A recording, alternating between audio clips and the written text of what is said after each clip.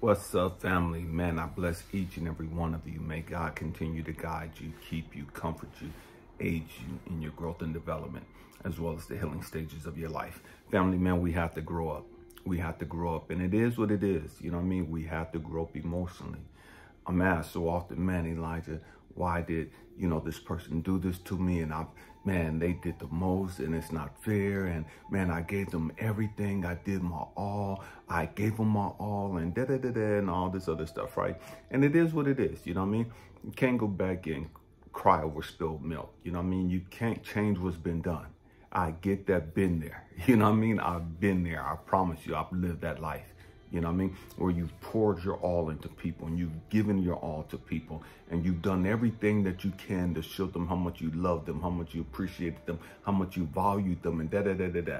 You did everything that you could. And they still dogged you out. You did everything you could.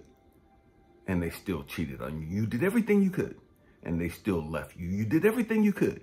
And they still rejected you and abandoned you and all this other shit. You know what I mean? Been there, done that. Been there, done that. Got the scars and a bag of chips to talk about it. You know what I mean? One thing that God had to show me was Elijah, you're going to have to grow the fuck up.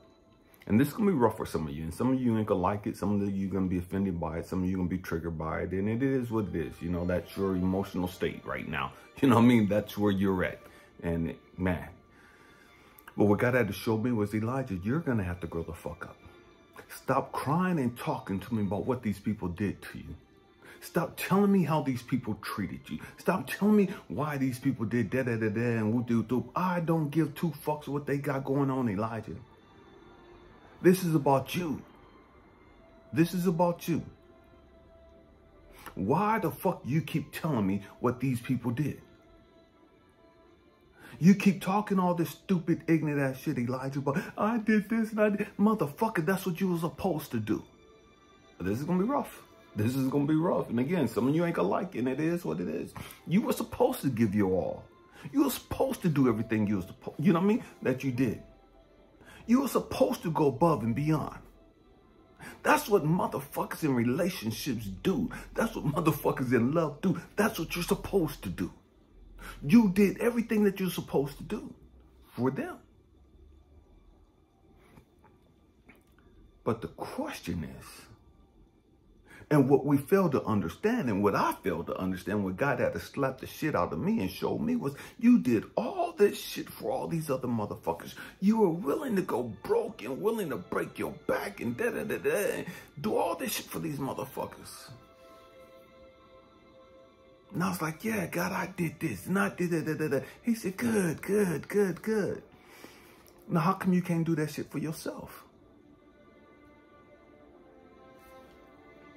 How come you can't love yourself like you love them? How come you can't do for you like you've done for them? How come you won't go out your way for you like you go out your way for them? Come you can't be nurturing and supportive to yourself? How come you can't chase your own dreams? How come you can't bring your own shit into fruition, but you do for everybody else? You'll be Johnny on the spot for everybody else. You always got an encouraging and uplifting word for everybody else. But when it comes to you, you're always tearing yourself down.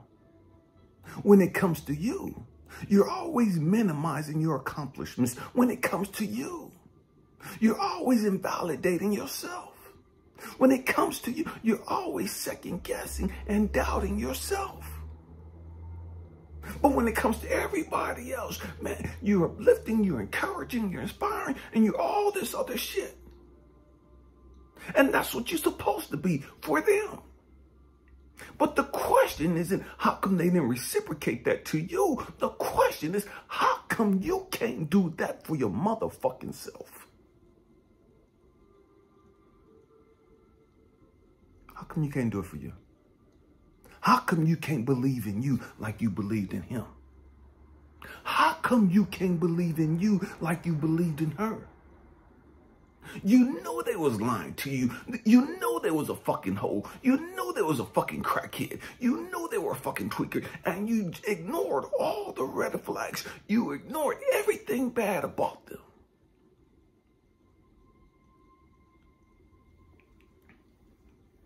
And you had nothing but good to say about them. Even while they were stealing from you. Even while they were abusing you and mistreating you.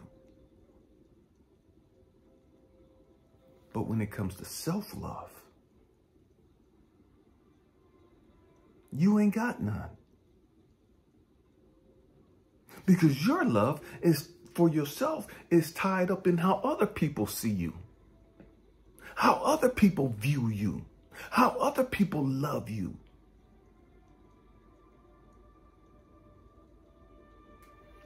But how come you can't love you just for you? How come you can't value you just for you?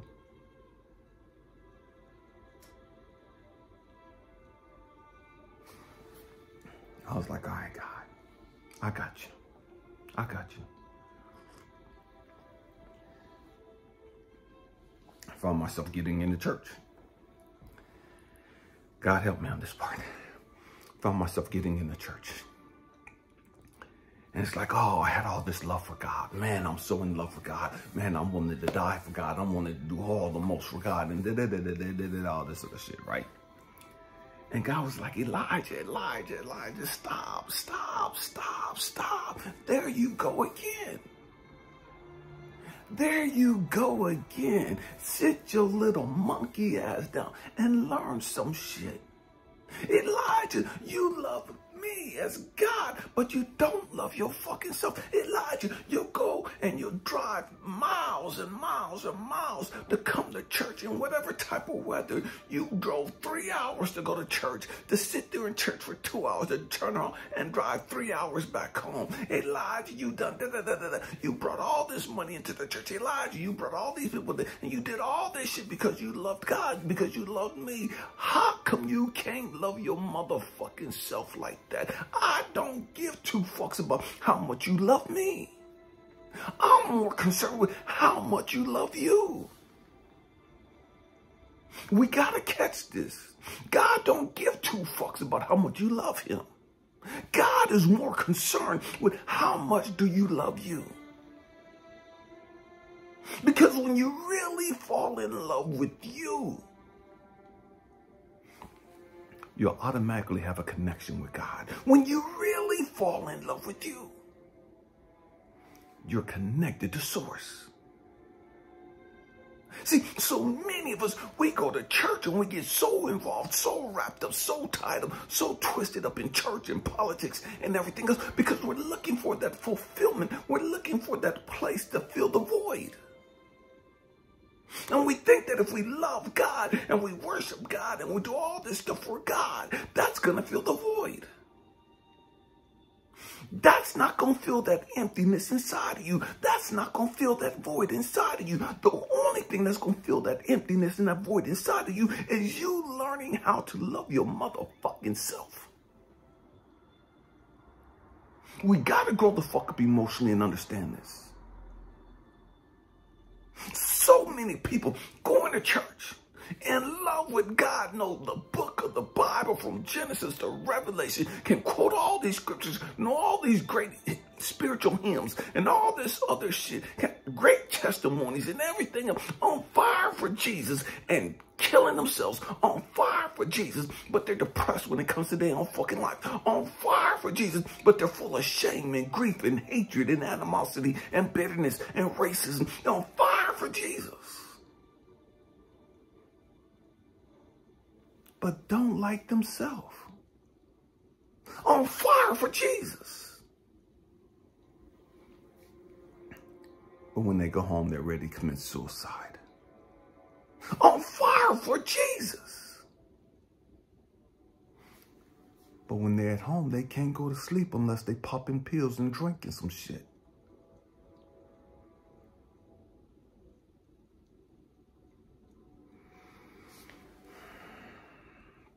We got to grow the fuck up. We got to stop playing these little bullshit games. We Are you so in love with everything else? So in love with everybody else? So in love with God, source, universe, the most high. And you don't love you. You don't even value you. Mm-hmm. You can't even appreciate all the hell that you've gone through. And what God has had to show me was Elijah, all these people dogged you the fuck out. Why? So that you could grow the fuck up emotionally and learn how to love your motherfucking self so that you don't need their fucking love. So that you don't need their validation.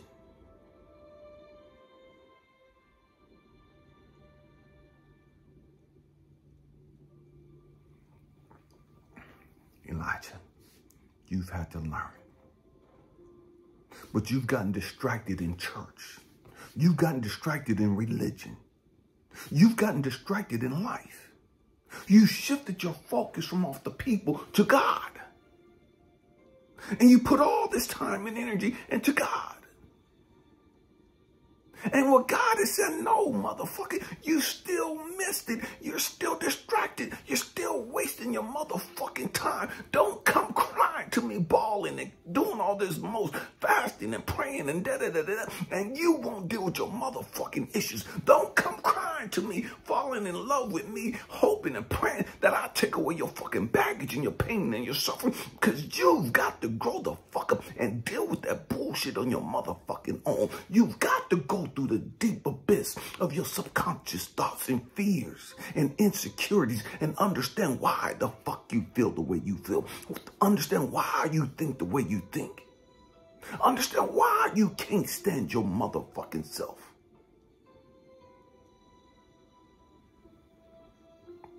We got to grow the fuck up and understand God's not gonna fix your motherfucking problems. You've got to man the fuck up, woman the fuck up, and deal with your motherfucking bullshit.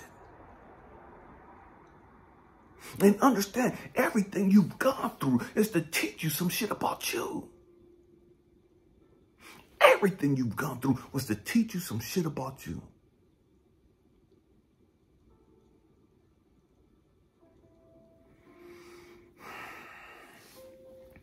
But we don't want to do that because it's too painful. We don't want to do that because it's so confusing. We don't want to do that because we don't understand the wisdom in it. And so we much rather get distracted. Going to church, jumping up and down, speaking in tongues, running around, being laid out in the spirit, giving the pastor and the first lady and all these other people all of our attention, all of our money and every fucking thing else. And we still live miserable fucking lives. We're still lonely as fuck. We're still frustrated as fuck. We're still suicidal as fuck. We're still depressed as fuck. We're still angry as fuck. We're still homophobic as fuck. We're still racist as fuck.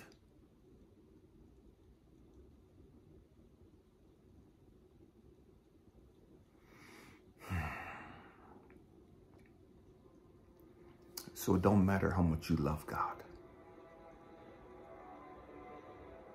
What matters is how much you love you. We got to understand that. We got to grow the fuck up and catch this. Because the more that you love you, the more in love you are with God naturally. You're not distracted. See, by loving you, you love God. By falling in love with you, by getting to know you, you're getting to know God. See, so many of us, we go to church and we want to get to know God. We want to know God, know God, know God. And we know all the fucking attributes about God. We know all this shit about the cross. We know all this shit about Jesus. We know all this shit about Mary. We know all this shit about Joseph. But we don't have a fucking clue who the fuck you are and why the fuck you've gone through what you've gone through. Why the fuck you going through what you're going through.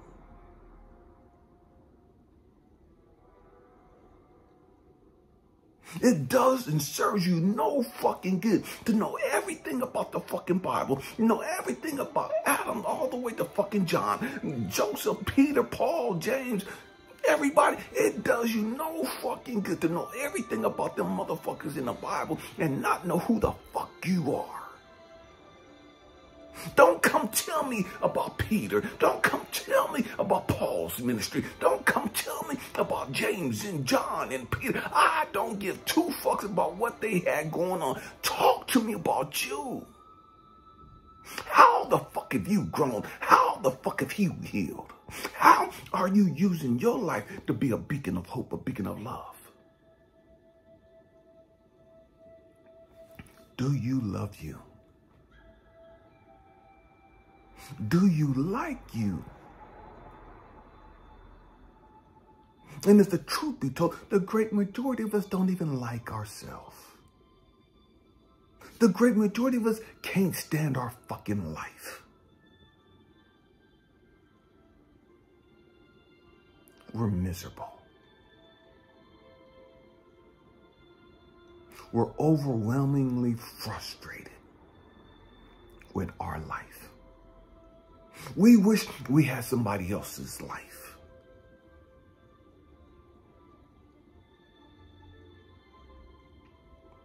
We got to grow the fuck up emotionally. We got to learn how to fall in love with ourselves. And I'm not talking about this pride shit. I'm not talking about this arrogant shit. That's still unhealed trauma. When you get down to the root of arrogance, when you get down to the root of that pride, of that self-righteousness, when you get down to the root cause of those things, it's still fucking ignorance. And it's still that they don't really like themselves. They don't really love themselves. They don't really know themselves.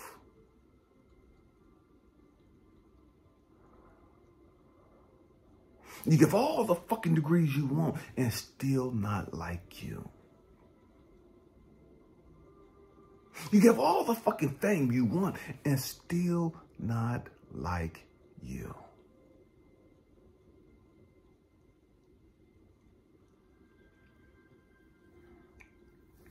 Man.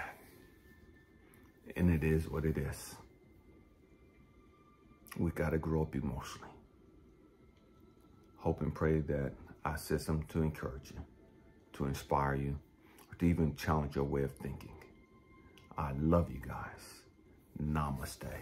The God in me, the light in me, the love in me, the wisdom in me sees, recognizes, acknowledges, and cherishes the God, the love, the light, and the wisdom within each and every one of you. Happy healing family. Peace.